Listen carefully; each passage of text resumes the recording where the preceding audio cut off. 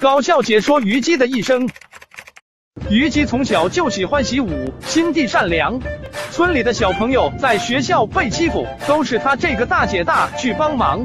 在学校也是一名校花，身材又好，人又漂亮，惹得很多精神小伙喜欢。十八岁的虞姬在学校毕业了，找不到适合工作，被姓曹的精神小伙骗去当海盗。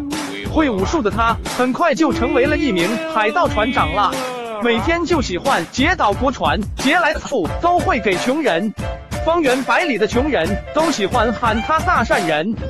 二十五岁的虞姬不当海盗船长了，回到了故乡，把多年存下的私房钱，于是开了家戏院，每天都会登台戏剧表演。他喜欢台下一位精神小伙，好像是西楚霸王，于是他们就这样在一起了。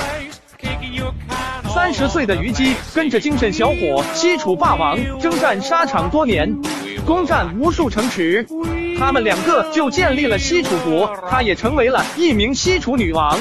后来他跟着一位老头学习修道。四十岁的虞姬跟着老头修道十年了，法术已经出神入化了。某天晚上，突然仙光一闪，原来是仙界来接引他，于是他羽化成仙，成为了一名仙子了。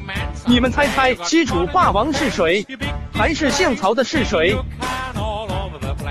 谢谢小可爱们，记得点赞、收藏、关注我，么么哒么么哒。